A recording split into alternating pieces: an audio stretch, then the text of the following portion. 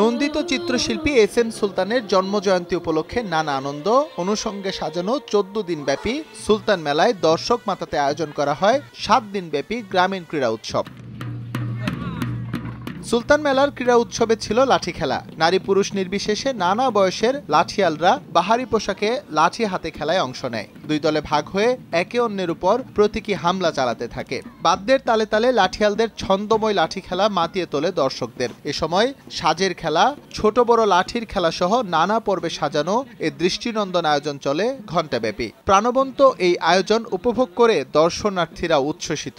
এই লাঠি খেলা আমি প্রথম দেখলাম এবং আনন্দিত এবং অনেক উপভোগ করলাম। সুলতান মেলায় প্রতি বছরই হয় আমরা দেখি অনেক ভালো লাগে।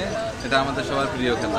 হারানো ঐতিহ্য তুলে ধরতে এই আয়োজন বলে জানান আয়োজকরা। খেলা আমাদের খুবই ঐতিহ্যপূর্ণ আমাদের বাংলাদেশের গ্রামীণ খেলা। তো প্রায় মানে হারিয়ে যাওয়ার পথে সেই খেলাকে পুনর্জীবিত করার জন্য আমরা চেষ্টা চালিয়ে যাচ্ছি। নারী পুরুষ নির্বিশেষে নানা বয়সের ত্রিশ জন লাঠিয়াল প্রদর্শনীতে অংশ নেয়। সময় সংবাদ নড়াইল।